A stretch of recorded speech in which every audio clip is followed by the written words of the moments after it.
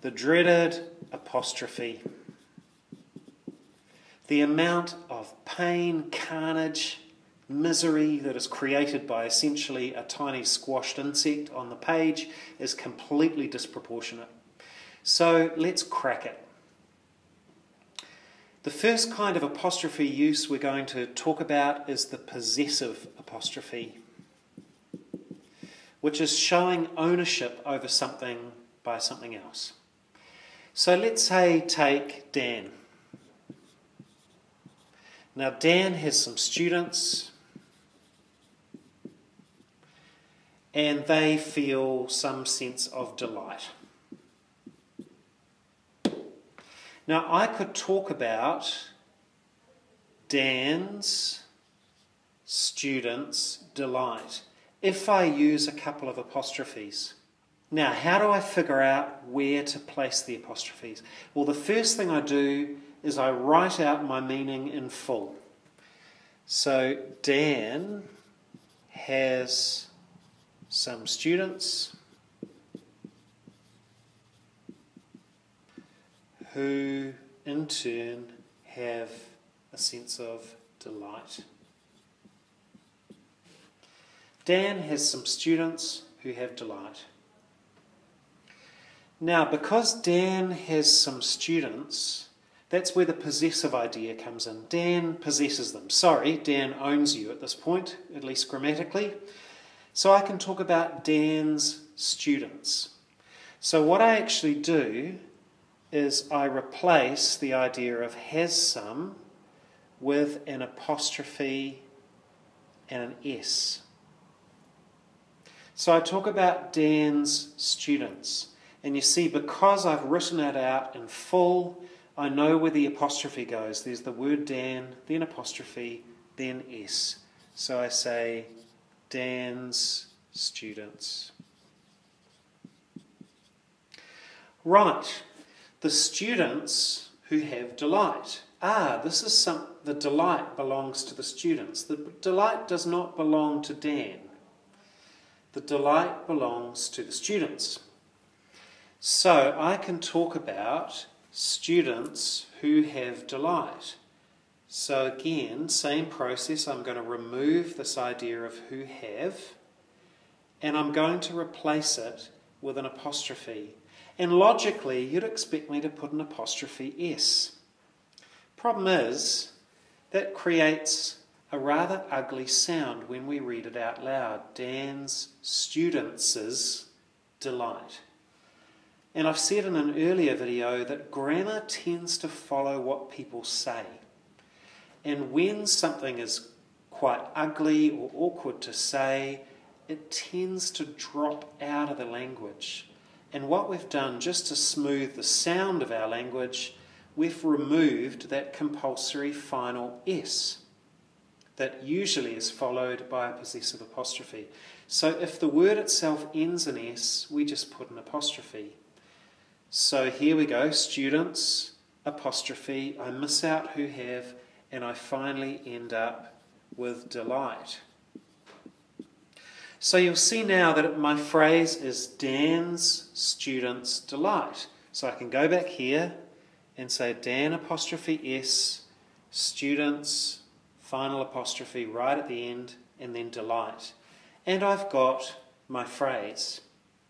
It's incredibly important where we place apostrophes. For example, if I misplaced my apostrophe to here, I've reduced my class down to one student because Dan has a student who has a sense of delight, which means I would go Dan has a apostrophe S student apostrophe S then delight.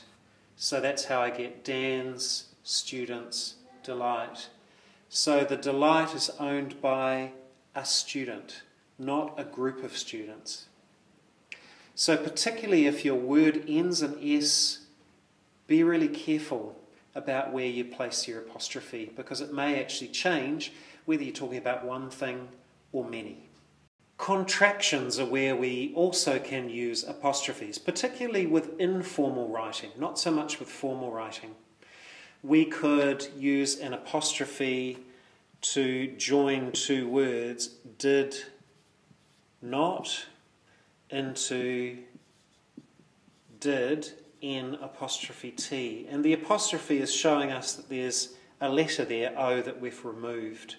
Didn't. But like I say, in formal writing, we tend not to contract like this and write out our words in full. This is the one that most often mucks us up with apostrophes. The trouble is that following that contraction rule, we can take the phrase it is and we can add the two words together and remove the I of is to create its. So we could say a sentence like, It's sunny today. It is. Now, bear in mind, I've said in formal writing, we don't tend to contract. So we would, I don't know why I would be writing formally about the weather, but we would say it is. That use, apostrophe S, has been taken over by contractions. And so, if I was to say, going back to the band Blur, Blur needed to up its game.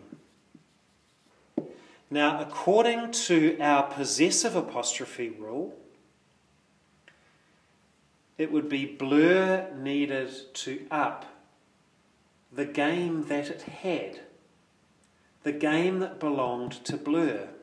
So you would think you would put an apostrophe in there.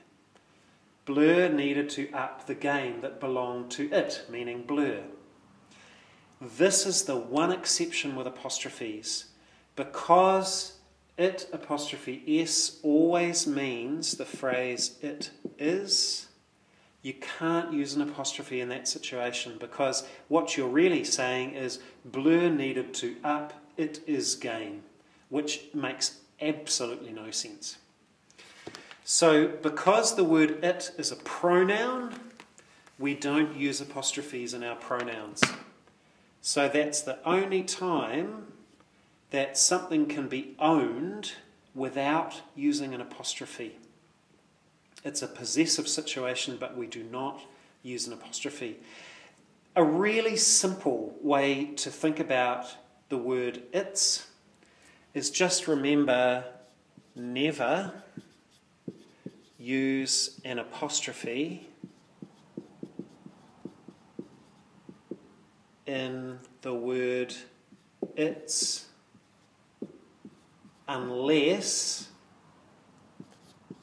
you mean it is. And if you YouTube the apostrophe song, there's even a catchy little chorus using exactly those words. Never use an apostrophe in its unless you mean it is. So every time you hit the word its, just ask yourself do I mean it is? If I mean it is, I use an apostrophe. Any other meaning of its, particularly the possessive ones, we do not use an apostrophe. A woefully common error is to use the apostrophe to make plurals. There you go.